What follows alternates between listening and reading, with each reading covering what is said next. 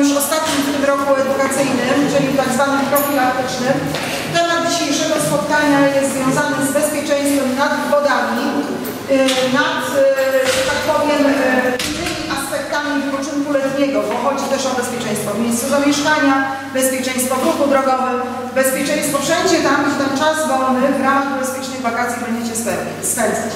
I meritum, o co w tym wszystkim chodzi? O to, że wszędzie tam, gdzie mamy kontakt z wodą, czy to będzie ciek wodny, najmniejszy, czy to będzie rzeczka, rzeka, jezioro, staw, basen przeciwpożarowy, bo okazuje się, że właśnie ludzie nawet takie pomysły mają, że można się kąpać również w terenach, które de facto stanowią baseny przeciwpożarowe.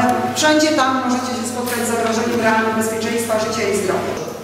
Następna rzecz. Yy, tworzenie, że tak powiem, dla organizmu komfortowych yy, warunków, czyli nakrycie głowy, czyli też odpowiednie spożywanie posiłków, tak? Wtedy, kiedy jest ciepło, żeby po prostu też nie zasłabnąć, żeby mieć tą dyspozycję, taki yy, aspekt yy, działań konkursowych.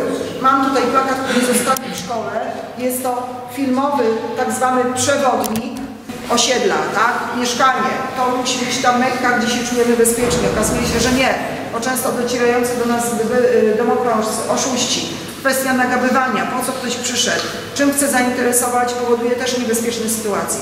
Bądźcie czujni też na tego typu zjawiska, bo my, jeśli chodzi o tego typu aspekt, nie edukujemy też tylko seniorów, ale edukujemy również Was.